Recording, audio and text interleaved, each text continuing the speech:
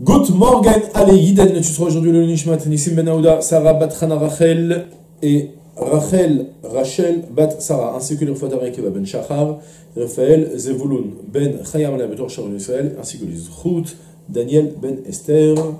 Si vous souhaitez vous aider une prochaine étude de Mishnah, contactez le 5 minutes éternelles, nous étudions Masechet, Avot, Perek He, Mishnah Tetvav, Arba Midot Bayoshvim Lifnei Chachamim. ספוג ומשפך משמרת ונפה. ספוג שהוא סופג את הכל. משפך שמכניס בזו ומוציא בזו. משמרת שמוציאה את היין וקולטת את השמרים. ונפה שמוציאה את הקמח וקולטת את הסולת. Dans la Mishnah, euh, Mishnah Yud Bet, on apprenait quatre midot dans les Talmidim. On apprenait là-bas quatre qualités de celui qui, par rapport à la capacité de retenir ce qu'il étudie. À présent, on va parler de nouveau. Arba midot beyoshevim lifne chachamim. Quatre midot aussi, quatre mesures, quatre types de yoshevim lifne chachamim, de disciples qui s'assoient devant les sages. Mais cette fois-ci, on va plus parler des capacités de mémoire, mais plutôt du développement de déduction et de logique et de manière de penser dans la vie. D'accord? D'approche à la vie, d'approche au problème. Et bien sûr, c'est le principe de tous ces Mishnayot, on arrive à chaque fois à 4 parce que ça fait 2 fois 2, c'est-à-dire on va prendre deux paramètres, deux éléments qui vont être par exemple, en l'occurrence puisqu'on va parler des, manières, des, conceptions, on va parler de, des bons points de la conception, de la manière de voir les choses, d'analyser les choses, et la, la mauvaise approche. Chacun, lorsqu'il approche une chose, lorsqu'il va réfléchir à quelque chose, il va nécessairement, il y aura un point positif et un point négatif dans sa manière d'approcher. Il va par exemple avoir une manière de tout décortiquer un petit, de manière un petit peu grossière, parce que ça va, ça va lui, lui permettre par exemple de mieux percevoir la profondeur, la profondeur d'une zvara. De prendre un exemple un peu, un peu, des fois un peu grossier ou quelque chose comme ça. Ça, aide à, à, réveiller et à mieux, mieux percevoir la difficulté des problèmes, au lieu de parler de manière euh, très, théorique avec beaucoup de recul, il va parler très concrètement. Alors, il y a du bon et il y a du mauvais. Et selon ça, ça va donc nous donner quatre types de Talmidim, justement, qui vont soit plus retenir le bon, soit plus le mauvais, soit tout retenir, soit rien retenir. retenir. C'est le même principe qui est de nouveau dans cette Mishnah de Arba Midot, qui est la dernière de la série des Arba Midot. Donc il y a marqué Arba Midot Bayoshvim Lifnei Chachamim. Quatre types de, quatre mesures de Yoshvim Khamim, de disciples qui s'assoient devant les sages, c'est-à-dire qu'ils vont ensuite acquérir une manière de réfléchir. Donc il y a le Sfog, ou Mashper, ou Meshameret, Venapa. Sfog, c'est l'éponge. Mashper, c'est l'entonnoir. Meshameret, c'est l'écumoire. Et Napa, c'est le tamis. Le principe d'abord de chacun. Ouais, on sait tous c'est quoi une éponge. Une éponge, donc, c'est intéressant d'ailleurs, dans le Rambam, ça se faisait avec euh, Sfog Ayam. Je sais pas si c'était tiré de la c'était tiré de la mer, je ne pas exactement comment ils faisaient l'éponge à l'époque, ni aujourd'hui d'ailleurs, mais c'est pas grave. En tout cas, l'éponge, elle a la capacité de, lorsqu'il y a des, liquides renversés, et qu'on a besoin de les ramasser pour ensuite les déplacer, les amener ailleurs, qu'ils soient des bons liquides, des mauvais liquides. Eh bien, l'éponge, elle ramasse tout, et après elle recrache tout. Avec aussi un petit ajout que je vous ajoute qui est rapporté par le Tiferet Israël. Ensuite, quand on passera ensuite au Nimshal, on, expliquera la, la, petite nuance. Mais c'est qu'ensuite, lorsqu'on va appuyer sur l'éponge, il va falloir, lorsqu'on va appuyer dessus, elle va tout recracher en vac. Le mâche-per, c'est l'entonnoir. On fait rentrer d'un côté pour faire sortir de l'autre côté. Tout ce qui est rentré ressort tel quel.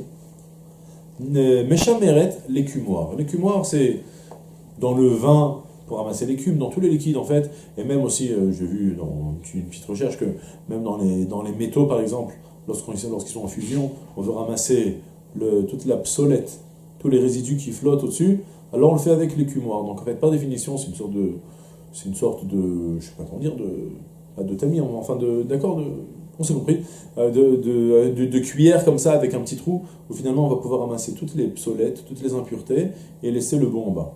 Ça c'est la méchamérette. La napa, par contre, c'est le tamis. Alors, le problème qui se passe là, c'est que ça change à notre époque et à leur époque. À notre époque, nous, on utilise, on utilise un tamis parce qu'en fait, on reçoit à la maison déjà une, euh, une farine déjà propre, plus ou moins. Donc on cherche les verres et les différentes impuretés, donc on tamise pour récupérer en bas le bon et garder en haut les impuretés. À leur époque, c'était pas ça. Le tamis, il servait justement à autre chose. Il cherchait pas des verres, il cherchait plutôt à. Il y avait la semoule, ce qu'on appelle la solette, et la farine. Et la solette, donc la semoule, était le plus euh, raffiné de la farine. Comme Abraham Avinu, il a invité euh, Lushi Vazugot Kemar Solette. Il avait marqué solette. Je sais plus, en tout cas, solette en général, les ménachot ont apporté de la solette. Le, couscous. Et donc, c'est ce qu'il y a de plus Meshoubar, en fait, lorsqu'on prend avec les, moyens de l'époque, lorsqu'il faisait de la. Lorsqu'il prenait le grain de blé, une fois qu'il était séché, qu'il voulait le casser, alors il le concassait, et puis ensuite, il y avait bien sûr plein de petites solettes, il y avait du blé. Lorsqu'on voulait récupérer que le couscous, vous imaginez, si vous voulez vous faire un bon plat de couscous et vous avez dedans plein de farine, qu'est-ce qui va se passer? Vous, allez plus avoir du couscous, ça va se transformer en, une sorte de, bouillie pas tellement agréable. Donc justement, on voulait récupérer la solette, et qu'est-ce qu'on faisait? On la tamisait, donc on récupérait le bon en haut, et on laissait tomber quelque part la solette, l'impureté, qui est en fait la farine qui était utilisée dans d'autres circonstances, mais en tout cas le plus raffiné était donc le, la, la, la, solette, la, semoule. À la différence, donc regardez, l'écumoire et le tamis font ont la fonction inverse. Un ramasse l'impureté et laisse derrière lui le bon, l'objet, la, nourriture de bonne qualité, et l'autre, au contraire, il garde le bon et il jette le mauvais. Et c'est donc en cela qu'on a les quatre types de talmidim, qui sont donc Sfog, Mashper, Meshameret, Venapa. Sfog, c'est celui qui Shehu sofeg et akol. Celui qui absorbe tout. C'est-à-dire, donc comme ce qu'on a dit, tout celui qui a un rave, on va dans une, dans une il va avoir plusieurs rabbinim. Malheureusement, nul n'est parfait à 100%.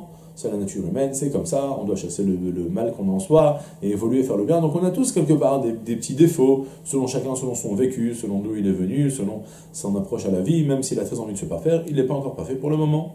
Donc il a du bon et du mauvais. Et donc dans une yeshiva, on, va se retrouver avec plusieurs rabbinim même. Et alors on va se retrouver avec des, élèves qui vont être des élèves de type sfog. Ils apprennent tout. Et on va préciser après encore mieux.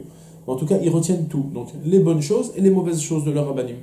Et après, donc, ils, perpétuent cette, euh, cette approche à la vie qui est mélangée de bon et de mauvais. Ça, c'est le sfog. Donc, chez où sofeg et. Celui qui absorbe tout. Mashper, chez Machnis Bezo, on motzi Bezo. Celui qui fait entrer par là et qui fait sortir par là. Quelque part, ça rentre dans une oreille et ça sort de l'autre. Ça n'a pas été utilisé comme ça. Euh, ça n'a pas été interprété comme ça. Je ne sais pas si apparemment c'est une expression purement française. Je ne sais pas, mais en tout cas, c'est le principe du swag. Ça rentre, ça ressort. Il ne s'est pas du tout imprégné de l'ambiance du Beth Le premier, il s'est imprégné de l'ambiance du Beth mais même du bon et du mauvais.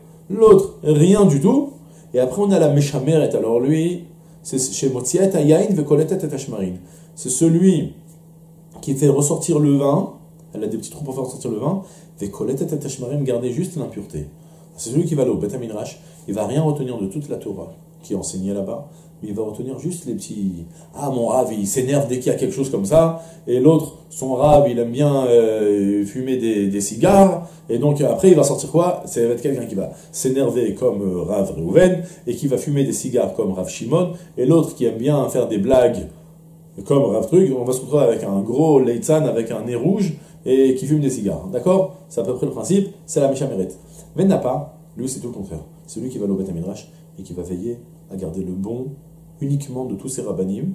Et donc il va se retrouver chez Motsia et à Kemar, celui qui va faire sortir le Kemar, qui est l'impureté, donc la, farine mais qui est l'impureté, Vekolet et solette, et celui qui va garder, et mais par contre il va garder en lui toute la solette, il va prendre de, tels raves. Il est vrai que ce rave qui aime les cigares, c'est un petit peu bizarre, un rave qui fume des cigares, mais d'un autre côté, il a du bon, c'est que quand il se met à étudier, il oublie tout, il plonge dans sa ça il le prend.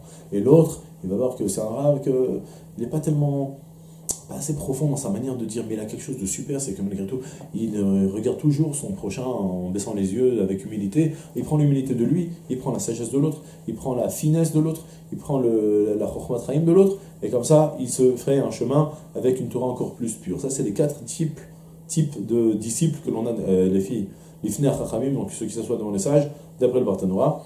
Si ça vous intéresse, malgré tout, le titre d'Israël est là une autre petite finesse très jolie quand il parle du sfog et du, mashper. On a dit sfog, c'est celui qui absorbe tout, le bien comme le mauvais. Et le mashper, c'est celui au contraire qui ne se fait pas du tout imprégner. Selon Tiferet Israël, les deux se font imprégner, mal, mais avec une différence. On va commencer par le mashper. Le mashper, comme on a dit, celui qui fait entrer d'un côté et qui ressort de l'autre. Nous, on l'a selon le que c'était quelqu'un qui retenait rien, qui ne se faisait pas imprégner. Selon Israël, il se fait imprégner bidiouk de Serabanim. Mais bidiouk, exactement. C'est-à-dire le bien de Serabanim et le mal de Serabanim à la bonne place. C'est Vadaï, c'est sûr, c'est défectueux, c'est pas parfait du tout. Mais au moins, il n'est pas pire que Serabanim. Et aussi, il est aussi bien comme Serabanim, quelque part. Si son rave, il était à 80% parce qu'il avait 80% de bonnes choses et 20% de, de petits délires, eh ben, il a repris ces mêmes points, exactement. Au moins, bon, c'est un, c'est ce qu'on appelle un mashper. Il a recopié ce qu'il avait chez lui, à la même place. la différence du sfog. Alors le sfog, lui, c'est la plus grande des catastrophes. Selon son interprétation, finalement, il est presque aussi grave que la méchamérite. La méchamérite, c'est celui qui retient que les mauvaises choses. Lui, le sfog, il est, c'est celui qui absorbe tout, le bon comme le mauvais. Mais une fois que ça se mélange à l'intérieur, tout devient mélangé. Même ce qui était bon, il devient mauvais. Ce qui était mauvais, il n'est plus. Il est plus aussi mauvais, il devient bon. Et puis après, on, le, on l'écrase et ça, fait, ça recrache tout d'un coup avec un, liquide vraiment désagréable où tout est mélangé à l'intérieur. C'est ce qui fait le sfog. Quelque part, donc, si je veux revenir maintenant sur le, le Talmud, eh ben, c'est celui qui va voir les bonnes conduites et les mauvaises conduites. Et puis finalement, il va en faire une grosse salade que même les bonnes conduites, elles vont devenir mauvaises parce qu'il va reprendre des mauvais éléments, il va les mélanger à l'intérieur de lui. Peut-être que les mauvaises conduites, elles vont devenir plus aussi mauvaises parce qu'il va mettre, euh, pour prendre le cigare, il va se mettre à fumer le cigare en pensant profondément à sa, à sa Bon, d'accord. Ce qui se passe, c'est qu'après, il va à l'envers. Euh, d'accord, on, on s'est compris quoi. Ils vont faire un grand hroued, comme on dit chez nous. Et, et donc, euh, voilà, c'est tout pour aujourd'hui. Je vous souhaite une journée pleine de Slacha Kolto. Salam.